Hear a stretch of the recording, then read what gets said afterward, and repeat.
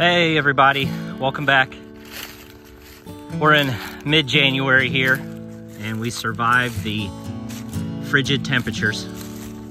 So this past week we didn't get above freezing here in Kentucky. It was what I consider pretty darn cold. We got down to about two degrees, I think. So to me, that's cold. I actually like the cold weather though. I'll, I'll, take the cold weather over the hot summer weather any day, but that's just me. So we still have snow on the ground, obviously, but we're back into the mid 40s here temperature wise. So I'm not seeing any cleansing flights from the girls. I, I see a little bit of bee activity right there at those upper entrances, but the undertakers have definitely been working. And what I mean by that is the bees that have died inside the hives, it's not uncommon to see several dead bees. There's one flying. To see several dead bees at your hive's entrances this time of year. And they're just doing what nature does best taking care of business inside the hive. You know, bees sometimes naturally die inside the hives and the worker bees will drop them off out front. Now, in the warmer weather, you don't see this as much because the worker bee will actually, the forager will actually take that dead bee and she will fly her out of the hive and some distance, some distance away. You know, typically I'll see them fly about maybe 15, 20 feet and I'll just observe her and she'll drop her out here in the field and then go back to the hive. But when it's really cold like this, well, not super cold, again, we're in the mid 40s, but the bees are still clustered at these temperatures.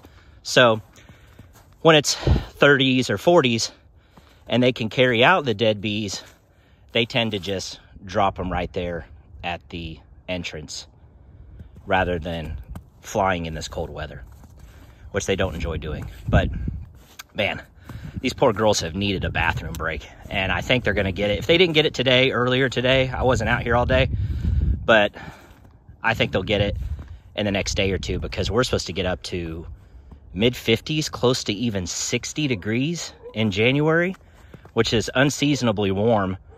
But of course, this time of year, if you get temperatures in the 50s and 60s, guess what that comes with? That comes with rain. So it's going to be rainy, rainy forecast. So if you recall in the last video, there's two hives that I need to restock with some sugar that they were burning through the majority, if not all of their sugar brick. And so these two hives I'm gonna get into and I just have standard old granulated sugar that I'm going to add to that inner shim and resupply them with some food because I don't know exactly how much is in the frame still. I suspect they're okay, but if the bees generally are up high in the colony into that emergency food, they could be running short on food inside the colony. So, and we obviously don't want that happening. So, all right, let's go ahead and get into these two hives and see how they're doing and refill that sugar. All right, let's have a look at this first one here.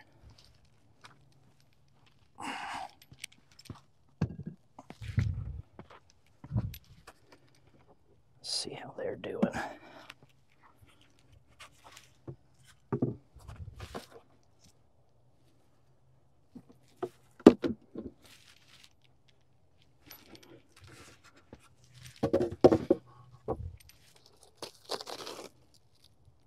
You see a little bit of condensation on this.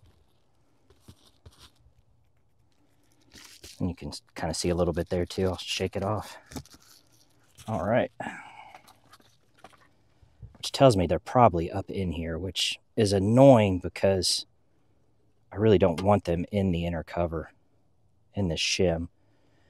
Okay, they're not in there terribly bad, so that's good. That gives me room to give them some sugar, and that's all I need. Now, I have the smoker lit, and if it was warmer, I would smoke them a little bit um, to try to encourage them to go back down in there. But I don't want to smoke them in the colder weather. 45 is still a little chilly because um, I don't want the I don't want to break up the cluster, and that's something you have to be careful about. Is you don't want to um, break the cluster. So they've worked hard to generate their heat and stay in that cluster. And if you smoke them in these colder temperatures, you risk, and I, I'm really trying not to get sugar to fall down in the colony there, even though some is. And that's okay. It'll probably pass right through and I'll take the uh, IPM board and just shake it off. But that's it. That's all. That's good enough for now.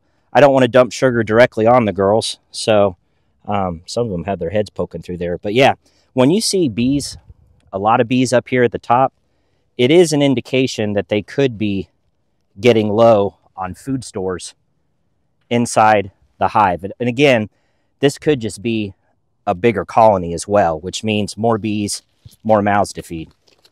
But that right there will at least supply them with what they need. They'll be able to take that moisture from their breath that you saw was coming up. It, it'll actually form on the sides of the hive as well. They'll be able to take that water, mix it with that granulated sugar, and make a syrup that they'll be able to use and digest. So, and I will come back out here in just a few days and refill this if necessary. So they're going to have plenty of food. I just have to make sure that I'm staying on top of this colony and that other colony because they've already gone through one round of the sugar brick. And in the meantime, what I may do is just make some white, uh, some granulated sugar, sugar brick without the pollen substitute in it. Put that in another shim that I have back in the pole barn. And during one of these little warmer days when it's okay to smoke them and they're not going to be clustered, I can smoke them to encourage them to go back down in the colony because I really don't want to open these hives and shake all the bees out. You don't want to be doing that in cold weather.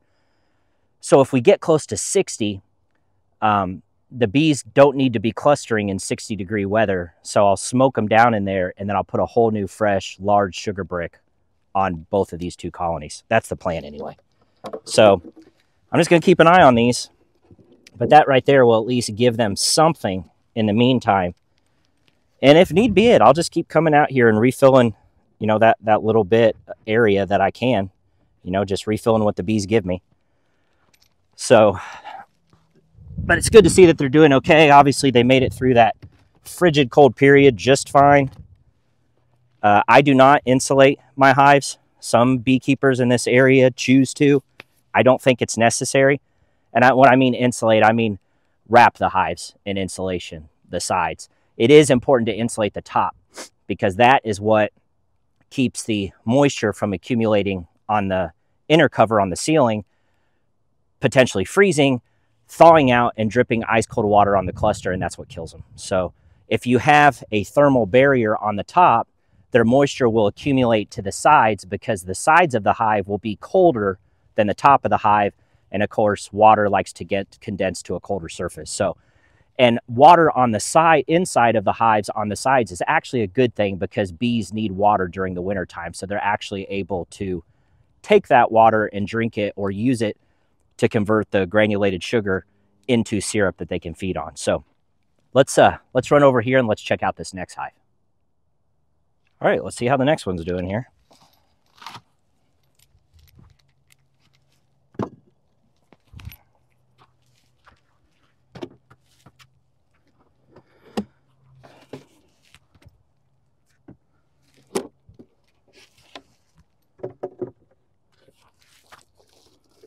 We got any moisture inside this one. Nope, that one's pretty dry. Let's see what we're looking at here. Yeah, they're they're a little irritated. A little more than the other one.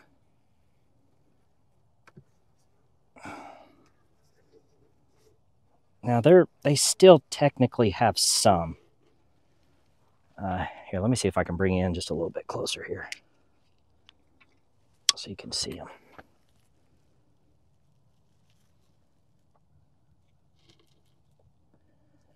So I don't see a lot of the defensive posturing, which is interesting because usually I do this time of year when they're clustered together. A lot of times they'll stick their butts up in the air and have their stingers out, but I'm not seeing that. So there's still a little bit of sugar in here.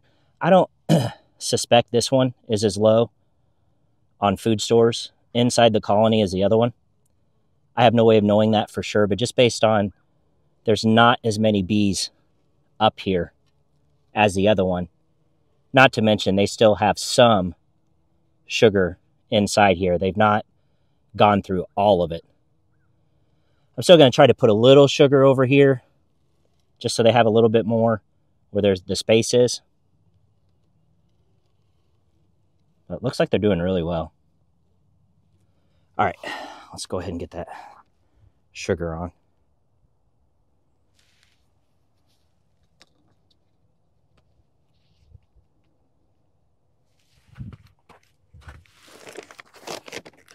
Try not to drown the poor bees in sugar. I can put a little bit over here. There we go. Kind of push them out of the way.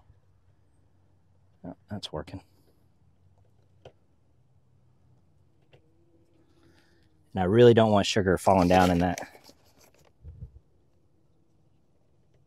in that inner cover.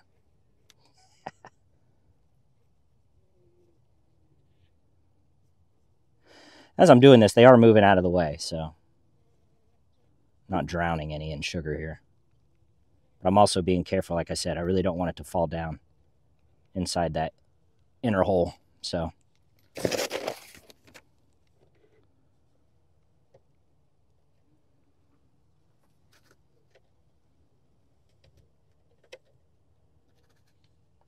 Okay, well, I know that doesn't seem like a ton, but that's something for them to keep working with. So, but yeah, they look good.